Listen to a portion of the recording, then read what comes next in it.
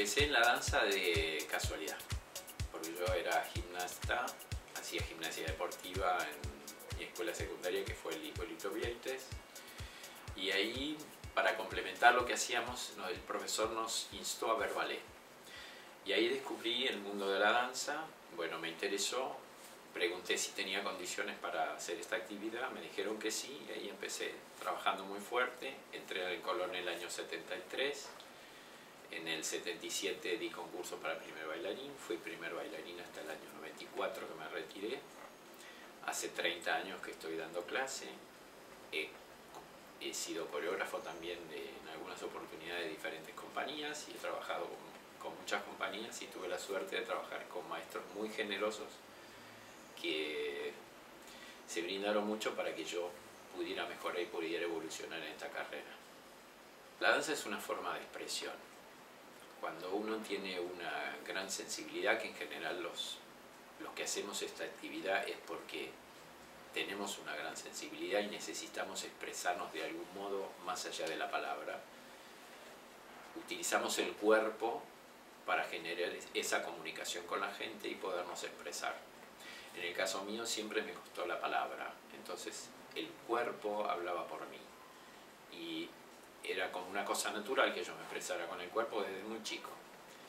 Y la danza me dio la posibilidad de expresarme, de conectarme con la gente y de ser mi modo de vida y de ser una parte primordial en, toda la estructura, digamos, de lo que yo estoy viviendo actualmente y en el pasado es muy divertido, sobre todo porque, porque nosotros estamos haciendo algo que nos gusta y estamos compartiendo con otra gente que tiene las mismas aspiraciones que nosotros. Entonces, si nosotros tomamos esta disciplina que, puede ser rigurosa, que, tiene eh, mucho esfuerzo y que tiene mucha dedicación, pero si lo hacemos con alegría y nos conectamos con gente que vive de esa forma el trabajo con alegría, nos podemos conectar con la danza desde un lugar muy lúdico y puede ser fantástico.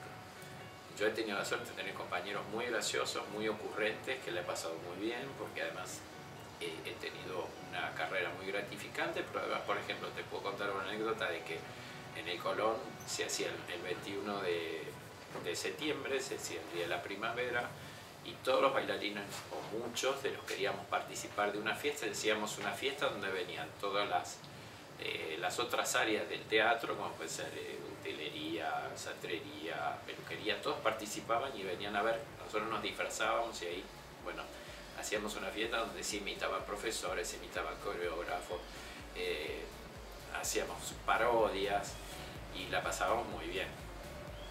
Así que sí, siempre hay tiempo para disfrutar y para hacer otras cosas y además hay que hacer otras cosas un arte se nutre en sí mismo, entonces los chicos que, hacen arte tienen que ver otras artes, cine, teatro, escultura, pintura, todo enriquece y todo aporta y, todo es bienvenido para poder nutrirse y para después eso volcarlo en el escenario.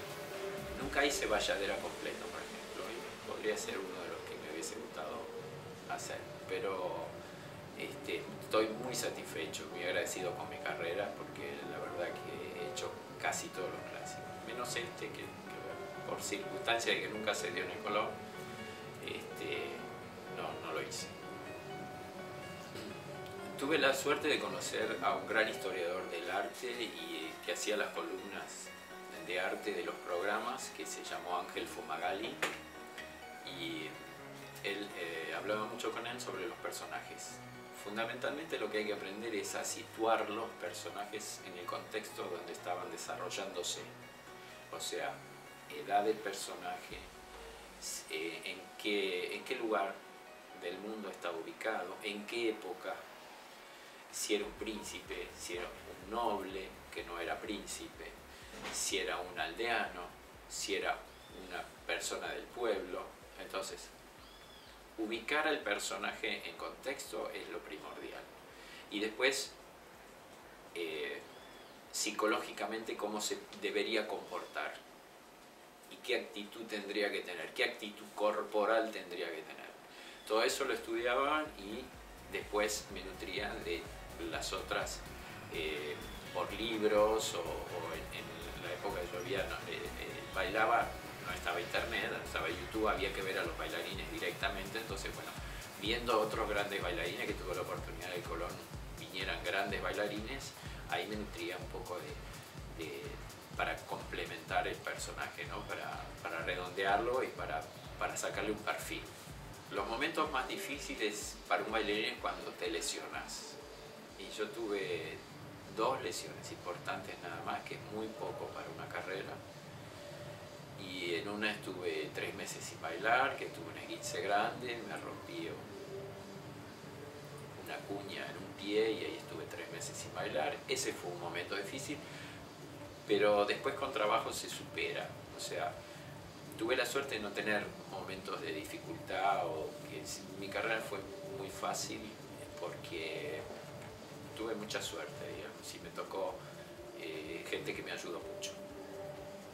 El bailarín de hoy, los chicos que estudian hoy, son muy distintos a los chicos que de mi época o la gente joven de mi época. ¿Por qué? Porque ha cambiado la forma de comunicación. Digamos, el internet, el hecho de estar en las redes sociales, el Twitter, el Facebook, todo, todo lo que tienen a la mano el chico de hoy hace que el chico de hoy sea distinto. ¿Qué pasa con esto? El, el, alumno de hoy quiere las cosas muy rápido, quiere que todo se consigue como en una pantalla, apretar un botón y que sale. Y el arte no es así. El arte necesita un tiempo. Entonces, como una criatura necesita nueve meses para desarrollarse y nacer, el arte necesita tiempo y dedicación. El alumnado de hoy cree que todo se resuelve muy fácil y a veces desisten por no conseguir resultados rápidamente. Entonces, lo que hace falta hoy es que el maestro concientice al alumno de que necesita tiempo, esfuerzo y dedicación para lograrlo, porque el arte necesita de estos tiempos y de esta estructura para poder desarrollar. De otra manera no. Al chico de hoy lo que le falta es concentración y dedicación.